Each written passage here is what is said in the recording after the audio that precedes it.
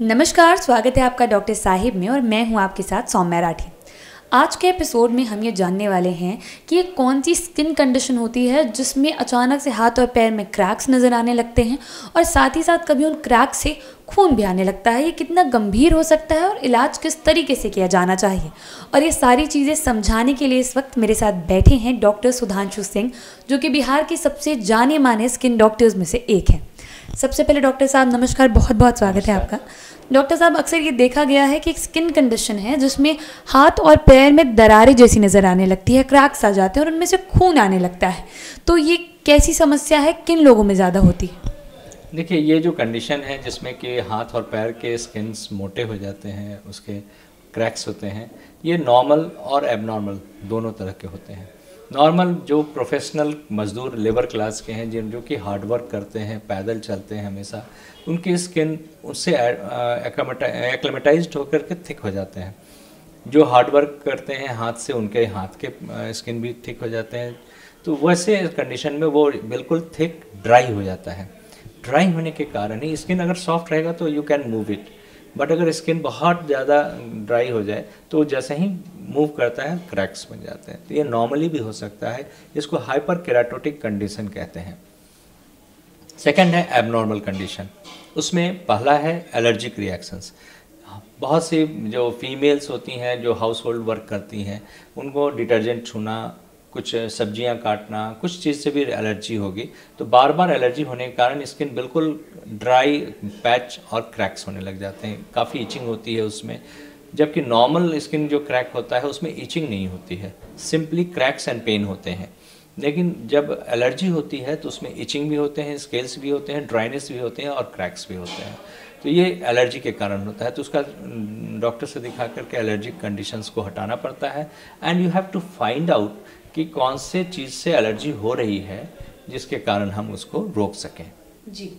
और third condition है psoriasis ये एक ऐसा कंडीशन है जो ऑटो इम्यून डिज़ीज़ है।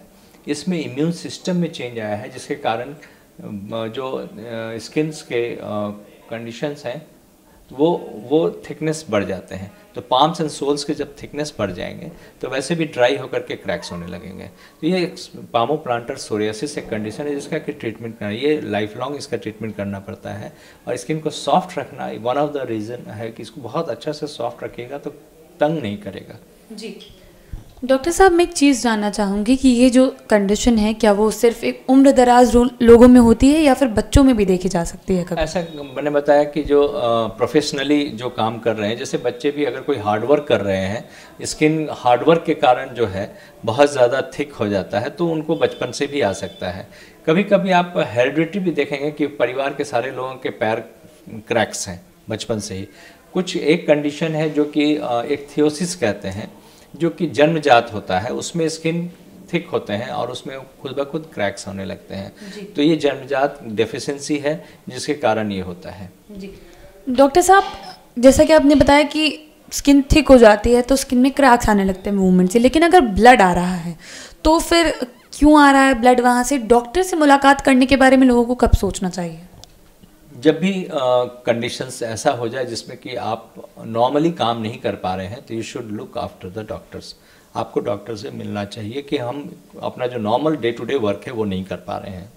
पहला कंडीशन है, जैसे हमने बताया कि नॉर्मली क्रैक्स हो सकते हैं, उसमें भी पेनफुल क्रैक्स हैं तो आपको डॉक्टर से मिलना चाहिए।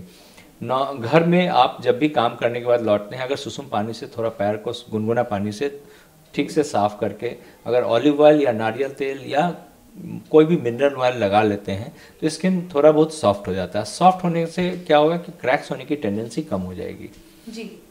सेकंड है एलर्जी एलर्जी में फाइंड आउट कर लीजिए कि किन चीज़ों से आपको प्रॉब्लम हो रहा है। अगर डिटर्जेंट से हो रहा है तो, तो डिटर्जेंट जो है वो यूजुअली क्या होता है कि आप उसको देख लिए कि हाँ डिटर्जेंट से होता है तो हम उसको अवॉइड करेंगे ग्लव्स पहन के काम करेंगे तो ये रिएक्शन नहीं होगा। और सोरियासिस में प्रॉपर ट्रीटमेंट से ही उसको कंट्रोल किया जा सकता है। जी।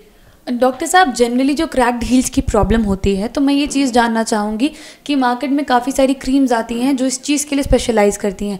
तो वो ट्रीटमेंट टेम्प्रेरीली सही होता है? उसमें से कुछ क्रीम है जिसमें कि सेलिसैलिक एसिड होते हैं। वो रियली में हेल्प करती हैं।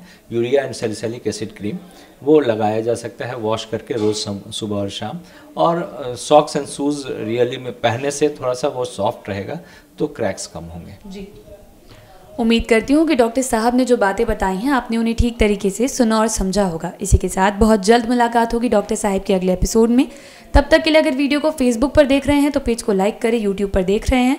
तो चैनल को सब्सक्राइब करें कमेंट सेक्शन या मेल बॉक्स के माध्यम से आप बता सकते हैं कि डॉक्टर साहिब से आपके क्या सवाल हैं। धन्यवाद।